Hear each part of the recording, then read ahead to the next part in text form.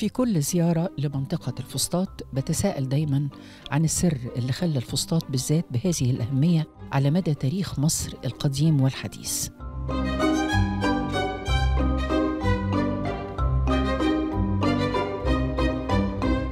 منطقة عجيبة بتتجمع عندها كل حضارات مصر وفي كل مكان فيها قطعة من التاريخ ولهذا السبب الفسطاط هي المنطقة الوحيدة اللي أطلق المصريون عليها اسم مصر ولغاية النهاردة بنسميها مصر القديمة.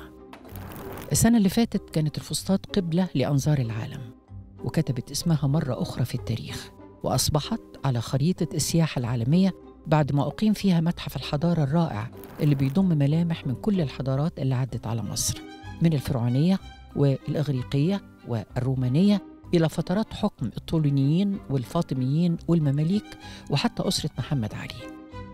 النهاردة وإحنا جايين المتحف كان شاغلني سؤال مهم. ليه تم اختيار الفسطاط بالذات عشان تكون المستقر الأخير لأعظم ملوك مصر القديمة؟ وليه متحف بهذه الأهمية العالمية يكون في هذا المكان؟ أسئلة تانية كتير هتكون في حديثنا النهاردة من مصر القديمة من الفسطاط مع المسؤول الأول عن هذا المتحف الدكتور أحمد غنيم رئيس المتحف القومي للحضارة المصرية. هو وجه معروف على المستوى الدولي.